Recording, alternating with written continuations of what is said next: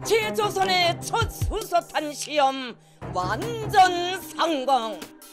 In January 2016, when North Korea conducted its fourth nuclear test, the UN Security Council adopted a resolution imposing extremely strong sanctions on North Korea in early March. The day after the sanctions resolution was adopted, Kim Jong un personally oversaw the test firing of a new large caliber multiple rocket launcher, 경의하는 김성은 동지께서 신용 대구경 방사포 시험 사격을 지도하셨습니다. Soon after, on March 6, Kim Jong un summoned the party and military leaders. A speech containing Kim Jong un's instructions at the time was published on April 10, 2017, about a year later.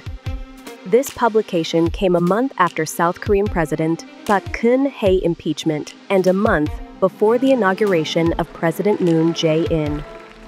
Let's make the entire party and the entire society Kim Il sung Kim Jong il ideology.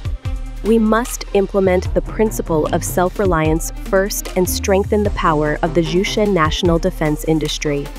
The core message of the 13 page speech is even in the difficult situation of sanctions against the North, let us inherit the spirit of Kim Il sung and Kim Jong il and not compromise with foreign powers, but rather build up our national defense capabilities to counter foreign powers.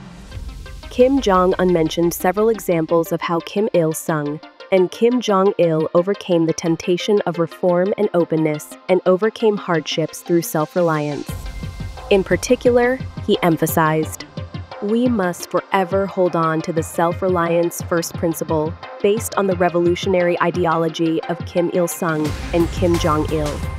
영원히 자기는 그 핵무력을 완성시킬 때까지는 영원히 이 방식대로 나가겠다. 장력 제일주의로.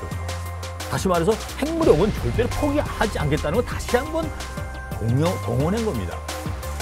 The speech also revealed Kim's attention to public opinion, a departure from his predecessors. We diverted funds to national defense at the expense of feeding our people adequately, and even failed to provide children with proper treats like candies, he admitted.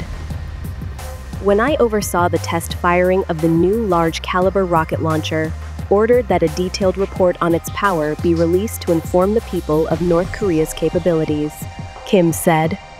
The propaganda sector should aggressively promote and publicize the achievements made in the defense industry sector.